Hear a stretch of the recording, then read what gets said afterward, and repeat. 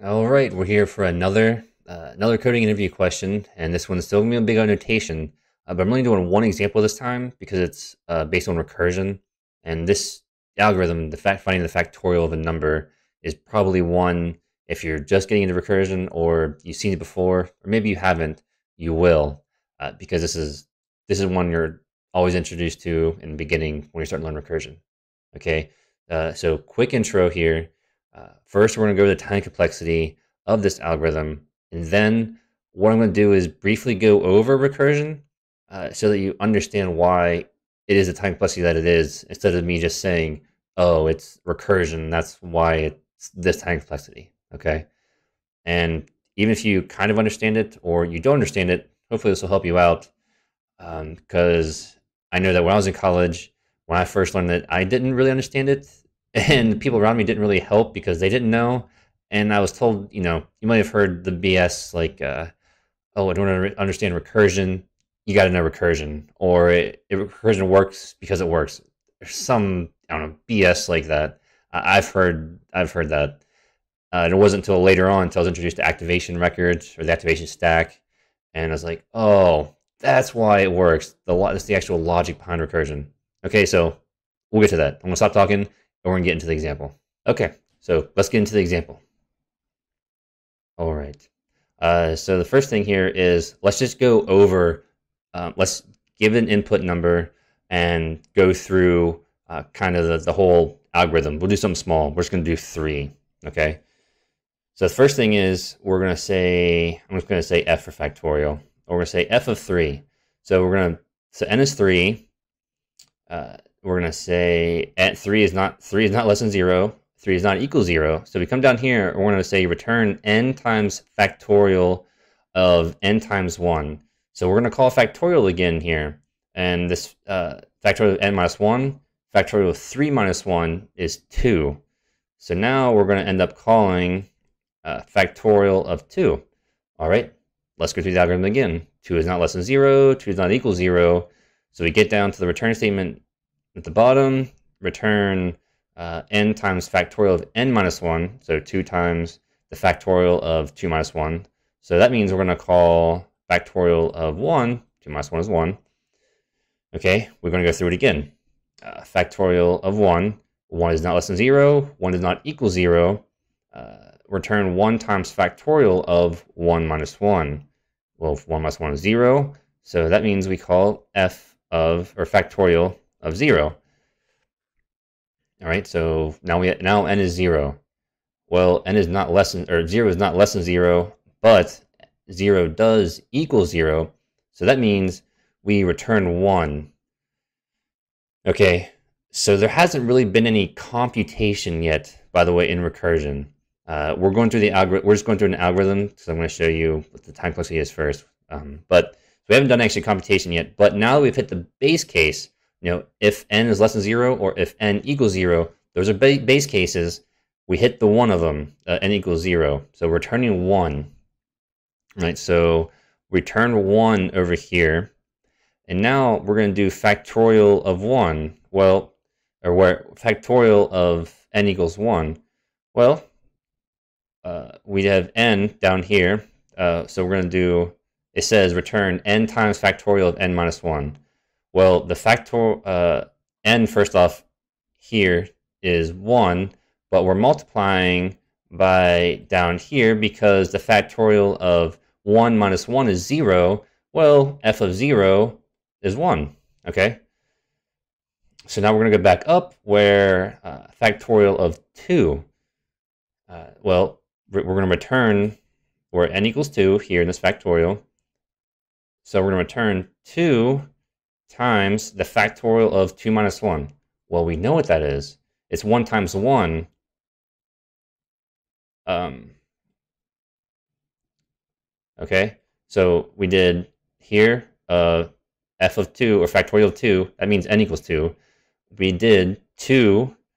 Uh, we returned 2 times the factorial of 2 minus 1. Well, n is 2, so we do 2 times. And we know what factorial of 2 minus 1 is because it's right below it. Factorial of 1 is 1 times 1 equals 1. So we do 2 times 1 equals 2. And now we come back up here to say factorial of 3? Well, that means we return 3 times factorial of 3 minus 1. Well, okay, n is 3, so we do uh, 3 times the factorial of 3 minus 1, which is 2.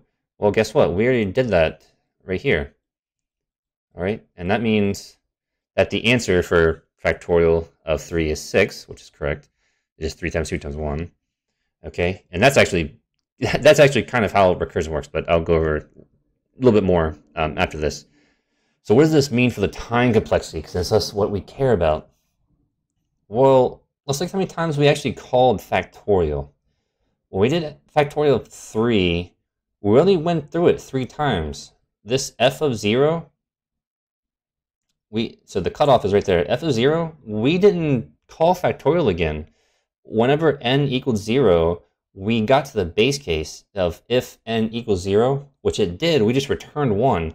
We didn't end up doing return n times factorial of 0 minus 1 First off, that would be negative anyways, and so we wouldn't want that.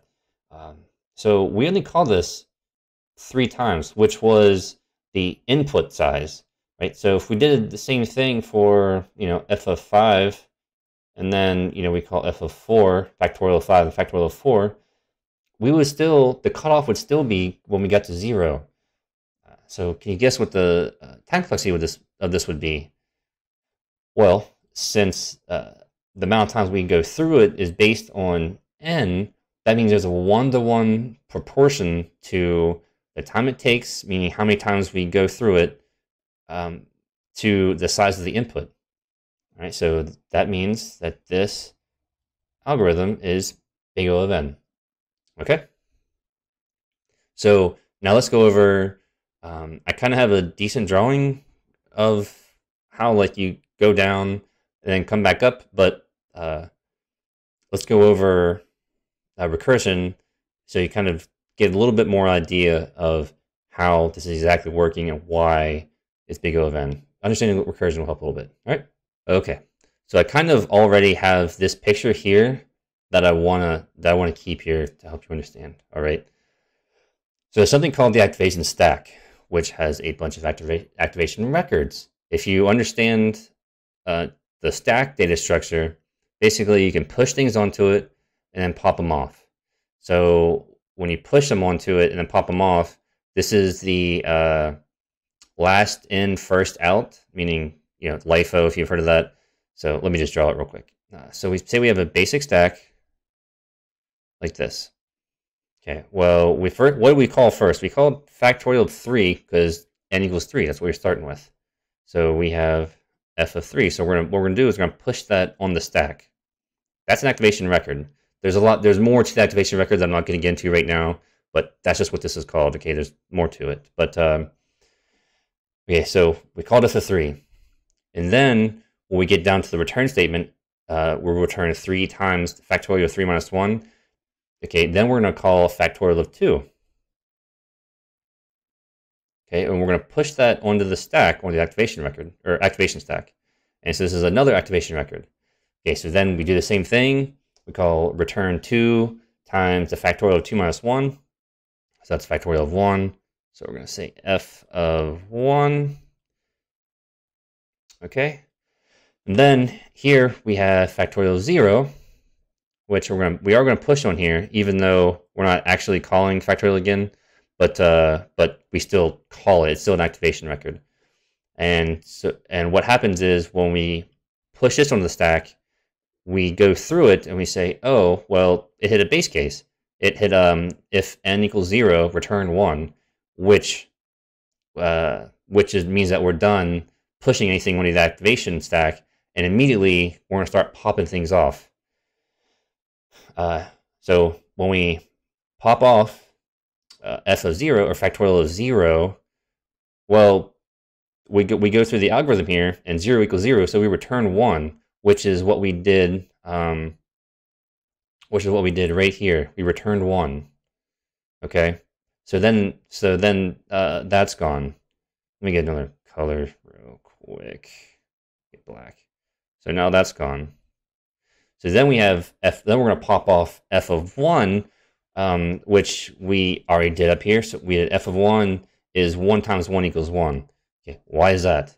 Uh, well, we're essentially saying uh, we're, we're saying return uh, one times uh, f of zero, which is which we know f of zero. We just did that. It, it's one, so we do one times one equals one, and then uh, so that means we're done here. And I kind of already did this um, f of 1 with the arrow to 1 times 1 equals 1. So that's what we're doing, okay? And then we pop off factorial of 2, and we return 2 times the factorial of 2 minus 1, which uh, is already done up here. So we say 2 times the factorial of 2 minus 1, which is the factorial of 1, um, which we already know the answer.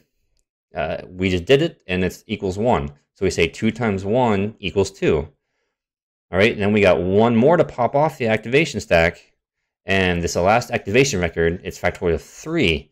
So uh, factorial of 3 is, it says right down there in the algorithm, we return 3 times the factorial of 3 minus 1, which is factorial of 2. So uh, just like up here, our final answer, factorial of 3 with the arrow is 3 times the factorial of 2, which is 2, because we already did the computation uh, just in the, in the last pop-off. And so that means our answer is 6. And that means we are done. So there are four items. We pushed a total of four items onto the activation stack. Um, however, we only called uh, we called factorial four times, right? We actually went through the algorithm four times, but recursively, we only called it three times um, because we hit the base case on factorial of zero. So the so this is why um, hopefully that helped you kind of first off kind of understood recursion a little bit more because that's that's how it works. Um, there's an activation stack. Uh, you put in the first you know, whatever n is or whatever you're doing recursively. You push that onto the stack, and you keep pushing until you hit a base case, and then you just start popping everything off. Okay, that's that's how that's why recursion works the way it does right? And then the math kind of up here in the red ink, that's just popping things off. Um, that's what it means. All right. Um, uh, so, so that's why the the the time complexity is big of n because it's just we're gonna um, go through we're gonna recursively call a factorial that many times. Okay.